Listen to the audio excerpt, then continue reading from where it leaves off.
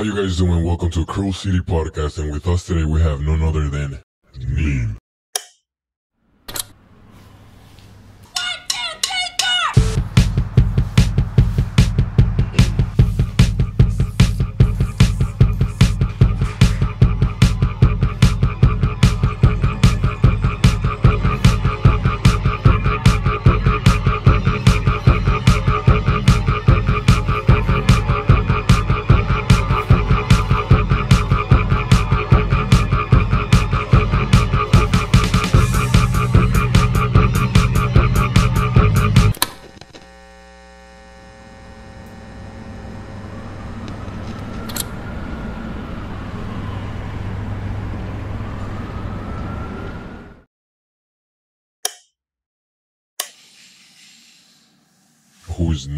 Neen is a American artist, primarily known for graffiti. He's worked in other mediums as well, but I would say that he is most recognized for graffiti. What event put you in this situation in this whole graffiti life? Uh, so I got an older brother, and he would take me out skateboarding when we were younger. And at the skate parks or on the way to the spots, he would catch tags, him and his friends. And it was something that I caught on to, like paid attention to, like what are they doing? I really didn't like understand it because I was so young. But yeah, that's that, that was the introduction to graffiti for me. How the love for graffiti started? My love for graffiti started with just like, I guess, wanting to see my work in my neighborhood. I would go like tag dumpsters with shoe polish that I would get or steal from Walgreens or try to make my own ink with big ink pens and we would try to make our own concoction of inks. I fell in love with was just tagging, like going around on my way to school or after school, just catching tags in my alleys and shit like that we would take to to and from school. Have you got into any trouble? I had got caught when I was younger, like catching a tag on the back of Walgreens. Like I forgot how old I was, maybe like 13 or 12 or something. The guy grabbed me and like brought me into Walgreens, waited for the police and all this shit, and like brought me to school because I was on my way to school. Didn't really catch a case because I was so young. I think they were just like the free pass. You had other names? Yeah, I had I had two names that I clearly remember. I used to write Mika, M I K A, and I used to write Amlik, A M L I K. Um, the letters that I used were primarily just for like the flow of a tag. That's kind of how I would always base creating a name. Those were names that I created myself. Nobody ever gave me them. Um, I just saw what my brother and his friends did, so then I was just like creating my own names. Actually, I would copy other people's tags that I would see. That was like the original thing I did. Like before doing anything on dumpsters, I mimicked other people's tags in notebooks to, um, I don't know, like I was just thinking I was cool trying to beat them or something. Then I was like, oh, I'm gonna get my own name. I'm gonna take myself to the streets. Like, You was pretty young. You did any research or you know any of the rules of like fighting names and shit like no, no, not at all. Like, all I knew was like, I liked the feeling I did when I, I got away with it. You know, like I didn't realize any rules until I started meeting like people in the community. But in my neighborhood, nobody was like really, um, mentoring me or showing me anything. You know, my brother, my brother was always out with his friends, so he didn't really want to hang out with like a 12 year old. Like he's he's pretty much a lot older than me, so you know he's 20 years old. He doesn't want to hang out with a 12 year old, you know. So And you find your way through the graffiti scene by doing by tagging first. yeah, yeah. So I feel I feel like a lot of people recognize me for just tags. Like um before I did any filling, I would do a cloud and then put a tag in the cloud, just like fill in a little bubble that looked like a bogus cloud. It didn't even have to be white. It could have been like a blue cloud with like a pink tag in it. It was like, it was terrible. It was really terrible. But, uh, that's when I really started to get like more, more dedicated or more invested into the game, you know? Then I met with other people going to certain locations where other gra- graffiti artists like will practice. I'll, I'll run into people or the people from my neighborhood that I skated with. Um, those were like some of my friends that I started doing graffiti with, you know. A few of them passed away, rest in peace. That was the original ambition to graffiti. It was from my neighborhood, people I grew up with, and then it evolved to meeting other people from other neighborhoods, seeing how different styles are from even from different crews from different areas of the city. I'm pretty sure you're not the first one, but when you start, you want to conquer your block. You want to conquer that little circle you got, you know? And as you grow, you hear all this taking over the city. How you feel about that? Uh, at first, you obviously like, you don't know any better, but I was literally like tagging in my alley two blocks from my crib and coming home, basically like leaving the paint trail back to my garbage can, you know? So that's not something I would recommend for anybody like trying to start out. Like it's, it's not necessarily cool to, to burn up where you're sleeping, you know? So I started venturing out because my neighbors know me. Like in my neighborhood, they know me. So why would, they're to be like, oh, it's that dude on the skateboard. It's that little kid, you know, like they don't know my name, but like, oh, it's that little kid I always see skating around.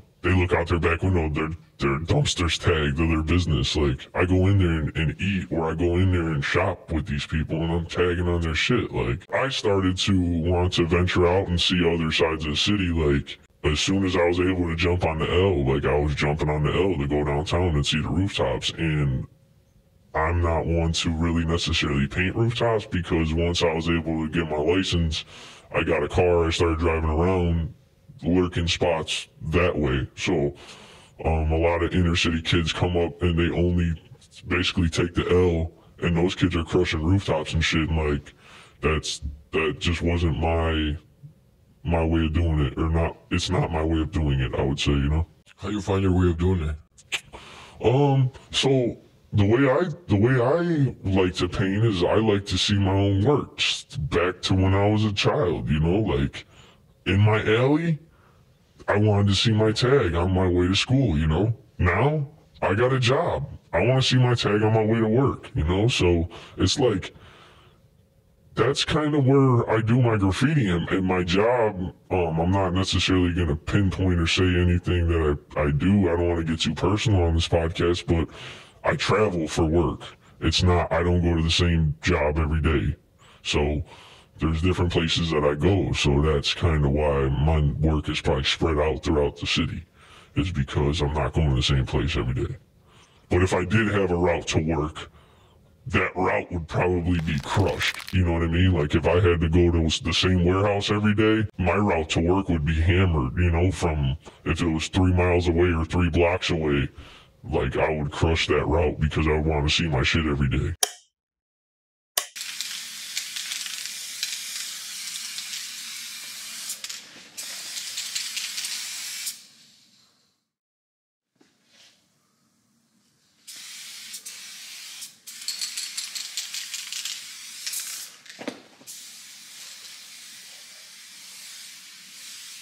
Do you see any development in your style?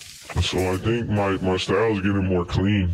Um, I'm getting a little bit more choppy with my letters and, um, that's, that's influenced by somebody that I've, that I've came across and I can consider him a friend now, my friend Sens. I, I watched him paint and I would always paint like really legible, straight, clean letters. Like I feel like it's a Chicago thing. More recently, I would imagine. You know, before it was more like wild style and technical in the past from what I see from archives from people's photos and now it's more about going big and going bold, you know? So with some steez to it, you know, not just like simple, straight, clean letters.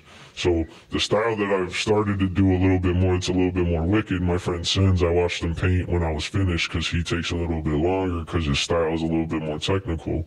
And yeah, I just watched him paint. I was like, oh, that looks fun as hell. Like just the motions and everything he does to make it look that way like I was like, oh, I want to try that. So a part of my style is uh, influenced or bitten by sins. But other than that, I feel like my stuff is pretty basic. It's I haven't really expanded too much on letter structures or, or trying to go out of my comfort zone.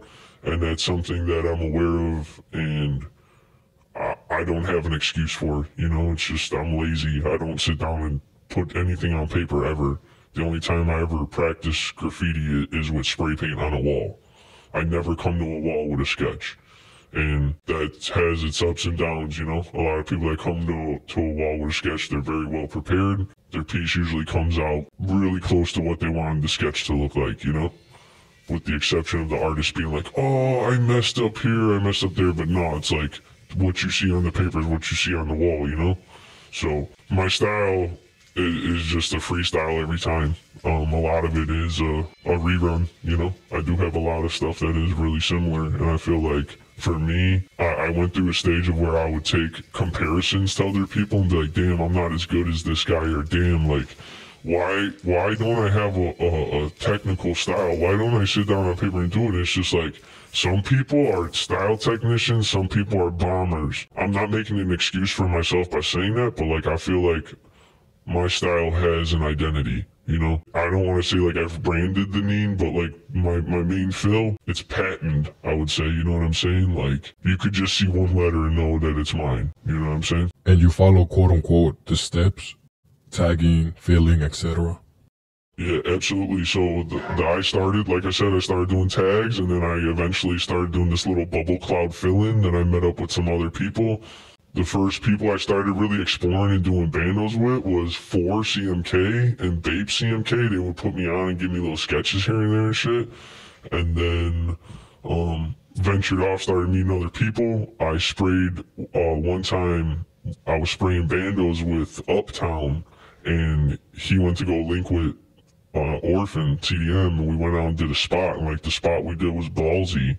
So then after that, that kind of sparked my that sparked my fire. Really, that one spot that we did that night. I would say, to be honest with you, like we did some burners on a place we shouldn't have. You know, like it was it was a good spot. All that kind of inspired me to to to have this hunger to to be doing what I'm doing now. You know.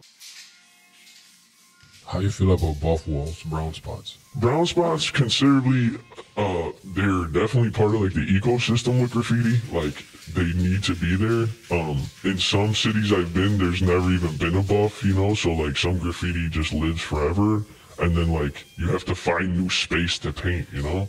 So it's almost a you run out of space in other places. Here they just clean it for you and be like, do it again, you know it sucks and it's really demotivating if you want to paint nice stuff because you might spend an hour at a spot or 30 minutes whatever time you considerably can take and it's cleaned in like a day. So then you come back for a flick and you're like, damn, it's already gone. I just wasted all this time, all this energy. Like if you bought the spray paint money, like, um, I can I've spent a lot of money on spray paint in my life, you know. I'm not just a person that only racks it to paint. Like it's nice when you do come up on some paint that's for the free, you know, or discounted, whatever. Somebody somebody could get you a plug on it and it's super low or whatever.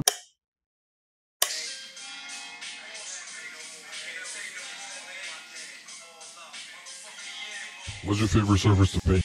I, I don't necessarily have a favorite surface to paint. I feel like there's a lot of the, for me. I like to get all around. Like it's it's cool to paint something clean that's like smooth. It's metal, you know. It's nice to paint that, but then it's like really nice to paint like a concrete brick wall. See, you paint a concrete brick wall, it's not as good as the buffed wall. That buff wall is like prime. Like you put any paint on that, it's it's going on there nice, you know. You get a brick wall, then you got to use a little bit more paint to fill it in because it's like or you use like a, a, a, roller paint to prime your, your fill in or whatever you're to spray, you know? Um, I've done that before instead of it soaking up all your paint, like you'd use a roller and then fill in on top of that roller paint because it's your primer, just like a buff would be.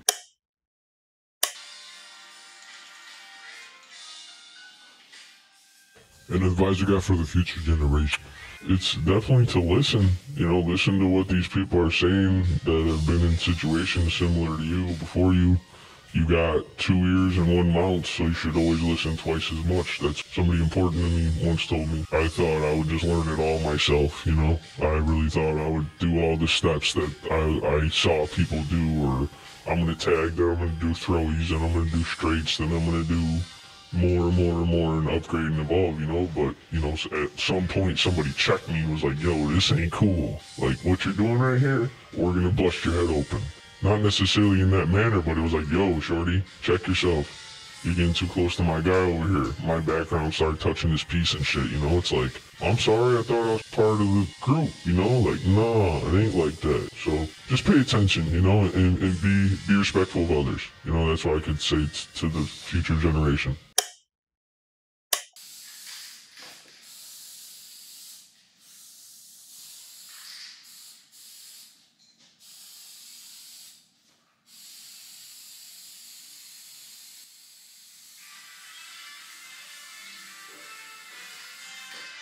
Graffiti has a lot of unwritten rules. Is there any of those rules that you apply to your graph, and why?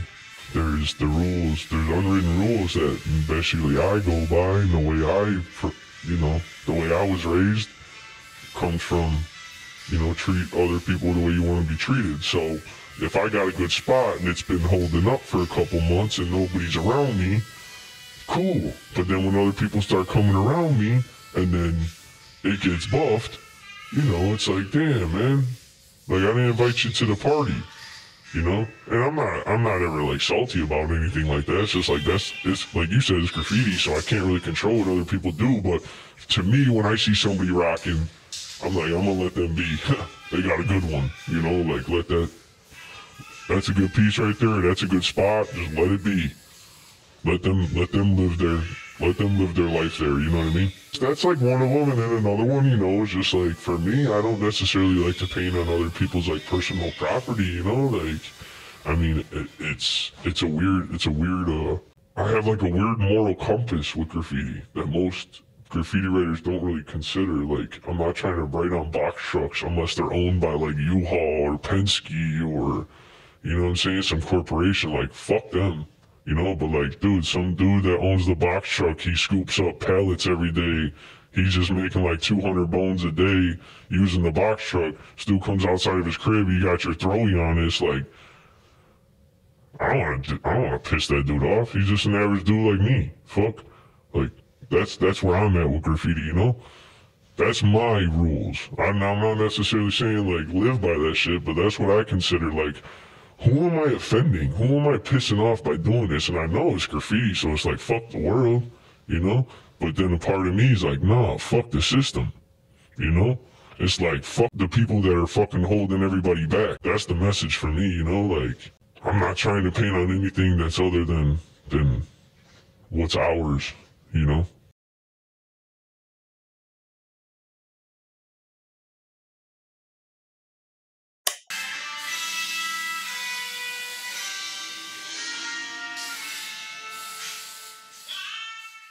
Graffiti? Graffiti's like a, it's like a vicious cycle. Like you can never get enough of it. I relate a lot of graffiti to skateboarding because it's like people spend days, sometimes months, trying to do one trick on a on a film, you know, and they fall and fall and fall, might break their ankle. And once that ankle's healed and the cast comes off, the dude's right back at the spot trying to get that trick, you know, and he'll obsess over it. And once he lands the trick, it, he's like on a high. Like it's like the best thing ever. You land the trick, you know, patience paid off. Persistence, you know, it paid off. And then it's gone. What's the next trick? What, what am I doing next? That's it. Like it's it's for a minute. You're high as fuck for a minute. That's what graffiti is. So like, man, it, it, it is a it is a thing that it's it's it's like a drug. You just keep chasing it, you know. You just keep chasing the dragon. Like, damn, I want that feeling. I want that feeling of freedom. You know what I mean? That's really what it is for me. Like, I'm not locked in a cage, and somebody's not telling me what time to eat. Like, I can go out there and put my word up, put my message up, whatever.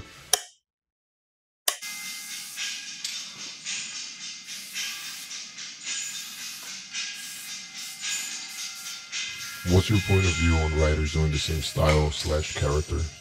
To me, it, I'd be a hypocrite to be like, stop being a one-trick pony. That's what it's called in the graph game. Mm-hmm. For me, at least, that's what I've heard, and I think it's a really clever name. Is a one-trick pony. It's somebody who only does one style. You know what I'm saying? To me, th- it's it's a whole ecosystem of graphs. So I feel like there needs to be those people.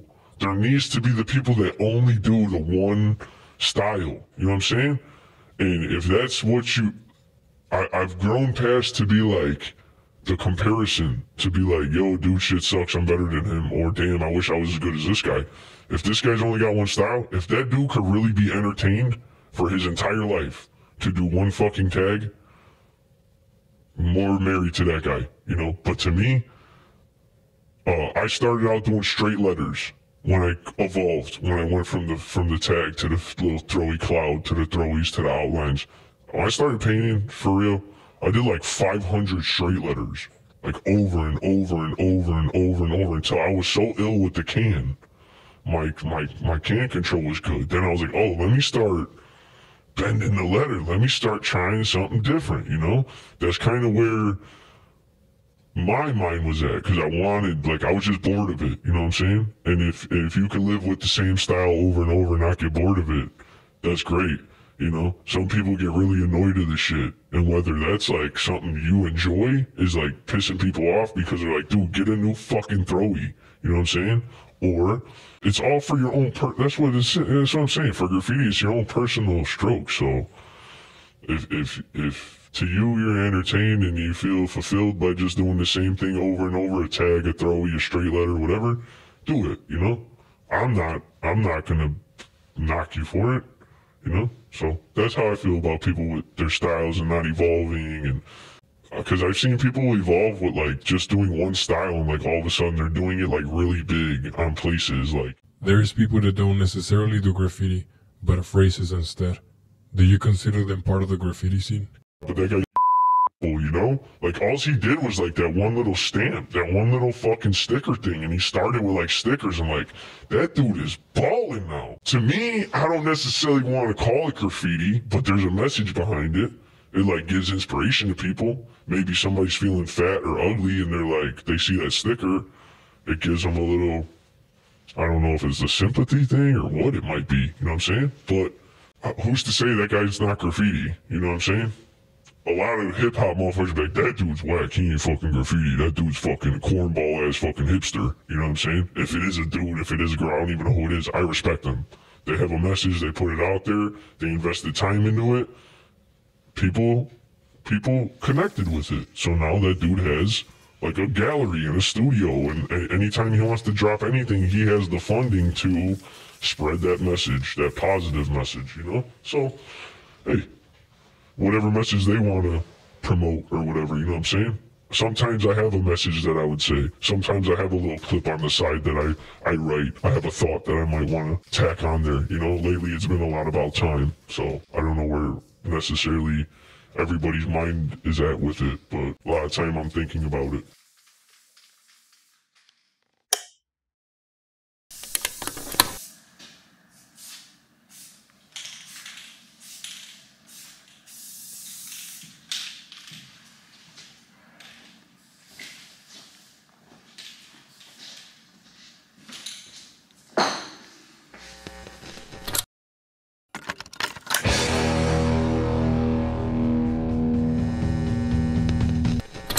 and now the favorite part of our podcast My favorite part of the podcast. yeah yeah Why is he such a toy? I'm such a toy because nobody's ever, you know, smacked me up to tell me to stop doing this.